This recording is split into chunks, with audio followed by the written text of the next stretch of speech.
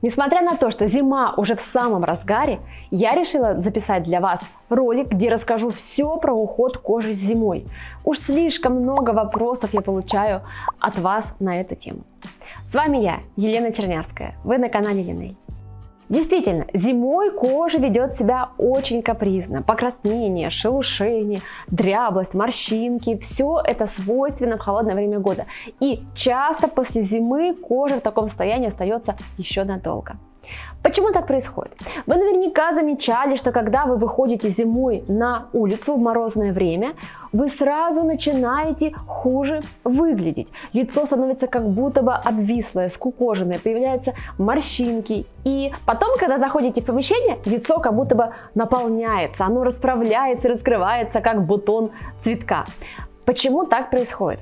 Дело в том, что организм продумал именно такую систему согревания, когда капилляры, которые подходят к коже лица, они сужаются и происходит отток крови от кожи, от верхней поверхности тела. Когда кровь отхлынула от кожи, она не будет в этот момент получать питательных веществ, она не будет получать в этот момент кислорода. И, соответственно, вид у нее будет действительно тусклый и немножечко сморщенный.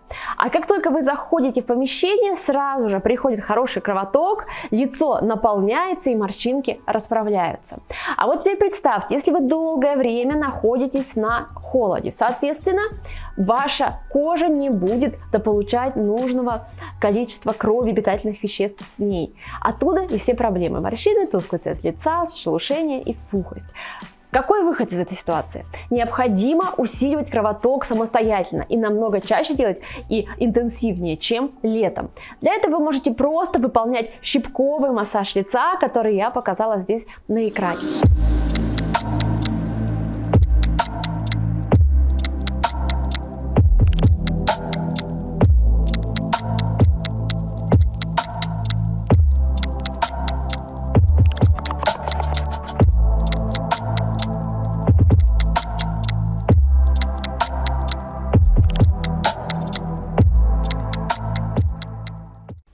Следующий момент, который проявляется в зимнее время, это высыпание, прыщи, которые обычно скапливаются в области нижней части лица, либо отек и второй подбородок также могут усиливаться в зимнее время. Связано это с тем, что мы переохлаждаемся и получаем воспаление лимфатических узлов, в частности почелюстных лимфатических узлов. Они будут хуже работать, хотя мы можем этого даже не заметить и не почувствовать.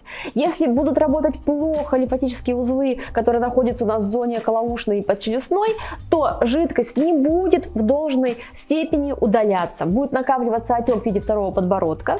Это первое. А второе, все продукты метаболизма клеток, токсины, а, бактериальная флора, она будет стоять вместе лимфы в области лица. И так как она не сможет утилизироваться привычным и нужным ей образом, она будет выходить через ближайшие доступные ей пути, то есть через кожу в виде прыщей и высыпаний. Как быть? Просто, пожалуйста, тепло одевайтесь. Не забывайте про существование шарфа, шапок. И как бы вам не хотелось сохранить прическу, используйте капюшон как минимум. Важным моментом является еще и то, что в зимний период снижена выработка кожного сала. Ну, это понятно, и мы это все прекрасно понимаем. А кожное сало входит в состав вот этого барьера, липидного слоя кожи, который защищает ее от потери влаги. И сколько бы мы не увлажняли лицо, если слой гидролипидной мантии будет нарушен, то мы будем постоянно чувствовать сухость и обезвоженность кожи лица. Как быть в этом случае? Конечно же, весь свой уход направить на сохранение, восстановление гидролипидной пленки кожи. Во-первых, умывание – Умывайтесь, пожалуйста, только мягкими средствами, в которых ПАВы заменили на какой-то сорбент. Например, наш гель для умывания со спирулиной.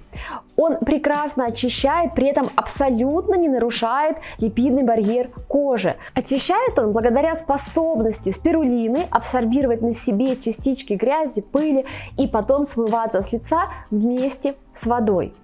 При умывании таким гелем вы не заметите проблем сухости, шелушения, стянутости кожи.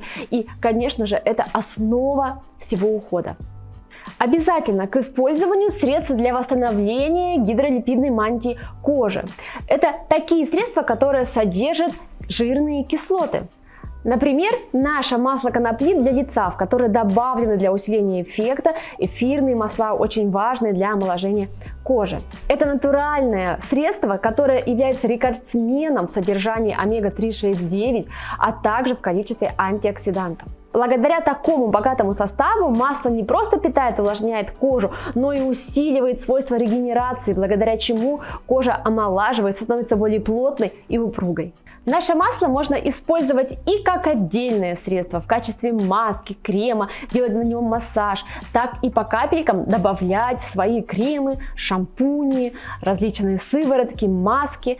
Тогда это будет полноценный продукт, особенно для зимнего ухода. Еще момент.